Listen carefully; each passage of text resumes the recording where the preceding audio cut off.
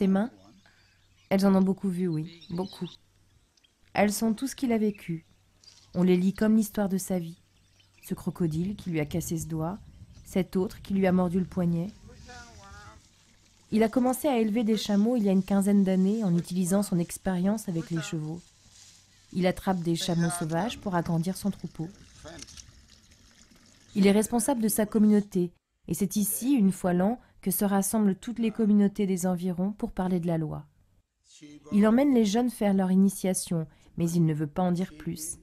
Il n'enseigne ni la cueillette ni la chasse. Les jeunes le regardent faire et apprennent à fabriquer un boomerang. Certains soirs, autour du feu, il leur raconte le temps du rêve et leur parle de leur lieu sacré.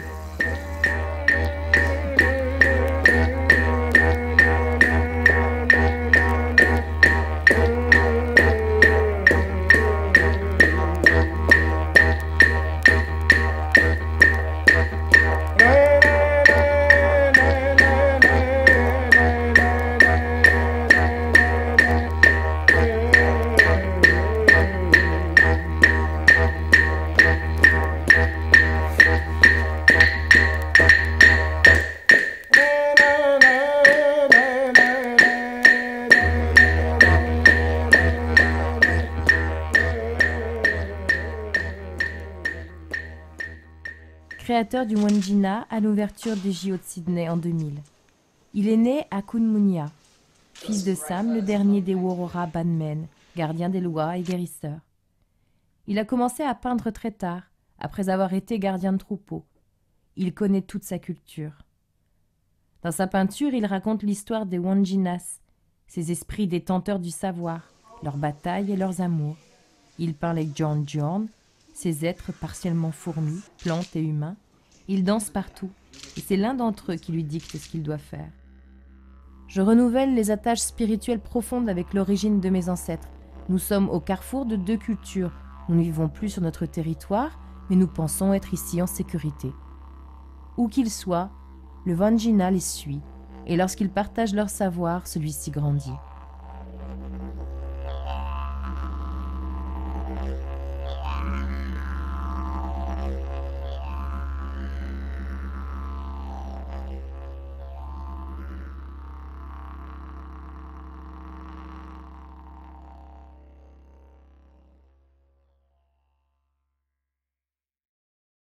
Wa en i mar wara mana nga manda jara nyige na nga nyige na ngan ka nga ngan ga boro nga lean boro.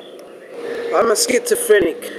I'm born from the sea but my spirit's for the river. We are all connected to that river. It is the river of life and so important we cannot allow anything to happen to that river. We had a family a home that was an open home. Everybody could come there you know Everyone could come there, and it doesn't matter black, white, we just helped everybody. So we learned about livability, we learned about diversity, we learned about strength in listening to the words of other people, to see the world a different way as human beings, not black or white or Asian, but as human beings. One thing with my father, he said, no talk, only work. So I grew up in a world where no talking, just working and action, you know? Mm-hmm. So and then I, my mother was someone who was highly skilled. She knew world politics. She read. She was hungry for knowledge. So then that may, gave me an inquiring mind. And through that knowledge, this is what I say. A lot of people say, oh, you're an activist. No, I'm an actionist. Mm. I don't want to just talk. I want to be involved in transformational change. And I learned about the instruments of oppression.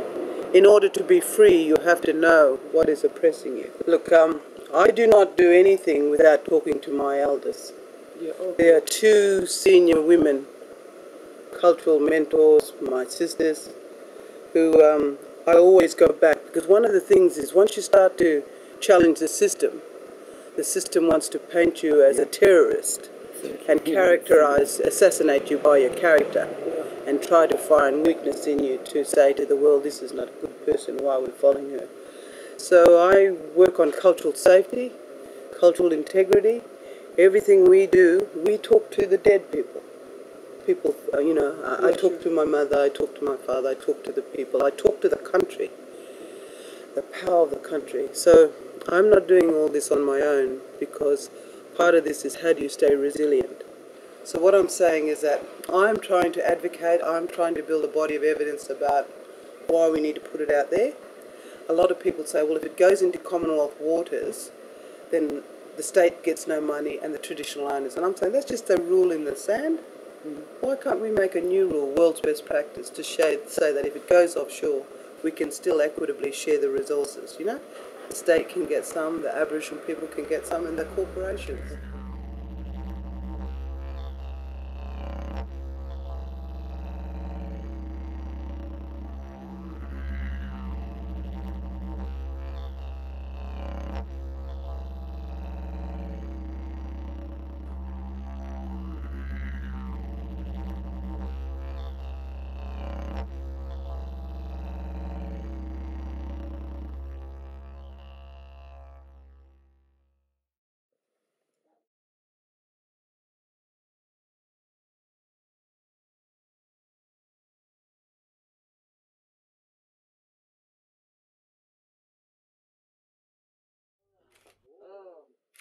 Elle est née et elle a grandi à Iliara. Il y a de nombreux djilas, des eaux vivantes dans son pays. Et quand elle était jeune, elle marchait autour de ces lieux avec ses parents. Dans les djilas, il y a un serpent silencieux. Parfois, il se lève, mais elle chante pour qu'il s'apaise. Beaucoup de gens viennent la voir pour qu'elle les guérisse. Elle a le pouvoir, en quelque sorte, de détruire ou d'empêcher la formation de ces énergies quand elles sont trop négatives. Ses mains savent se poser sur les douleurs et les atténuer.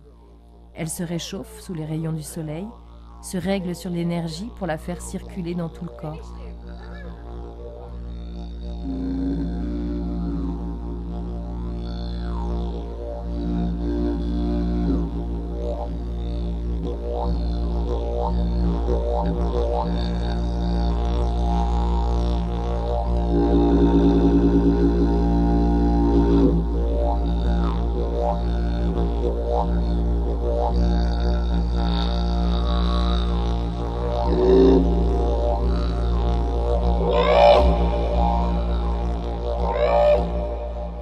Ses mains caressent les arbres, il aime les plantes. Mais aujourd'hui, il se bat contre l'extraction du gaz et de l'uranium dans le Kimberley. Le gouvernement menace d'industrialiser leur région et toutes leurs valeurs culturelles, leurs traditions, leurs cérémonies sont en passe de disparaître, selon lui. Les industriels veulent les assimiler à leur monde, alors que son rêve, à lui, serait qu'ils comprennent leur héritage, comme il peut comprendre la nécessité du progrès et les structures de la société actuelle. Ses mains porteront les mots et la musique. Elles battront le rythme de son combat.